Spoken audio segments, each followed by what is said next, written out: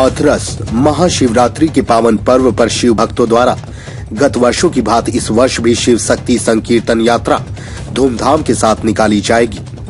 आयोजकों द्वारा यात्रा की तैयारियों को अंतिम रूप किया जा रहा है प्रदान। यात्रा को लेकर पुलिस एवं खुफिया तंत्र हुआ सक्रिय। प्रशासन द्वारा यात्रा को सकुशल संपन्न कराने को कसी कमर। महाशिवरात्रि पर सुरक्षा व्यवस्था को लेकर पुलिस अधीक्षक गौरव वंशपाल ने सीओ एवं कोतवाल व पुलिस बल के साथ कस्बे में किया फ्लैग मार्च। अधिकारियों ने फ्लैग मार्च कर यात्रा के निकलने वाले स्थानों का लिया जायजा।